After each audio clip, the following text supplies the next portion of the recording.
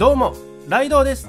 今日紹介するのはこちら芳醇ぶどうサワー。こちらキリンさんからローソン限定で発売されています。それではこちらをレビューしていきたいと思います。紫色の中でも落ち着いた紫色をしていて落ち着いた大人な味わいがするのかなと想像力をかきたてられるデザインです。それでは開けていきましょう。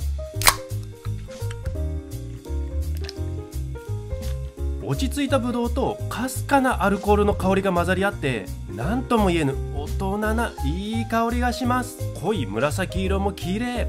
それでは皆さんお疲れ様でした。乾杯。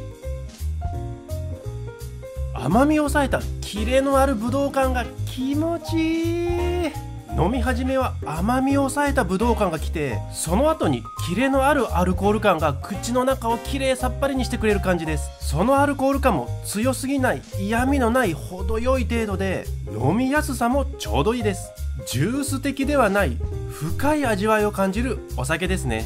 この芳醇ぶどうサワーを飲むのにおすすめしたいのは甘みを抑えたキレのあるぶどうサワーなので缶チューハイに切れ味を求める方にぜひおすすめ。他にももったりした感じのないさっぱりした味わいなので幅広く料理に合わせられると思います。なので食事の時とか料理メインの時に合わせるのもおすすめですよ。切れてるぶどうが新しい。そんなお酒でした。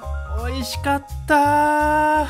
ごちそうさまでした。皆さんの飲んでみた感想なんかも教えてくださいね。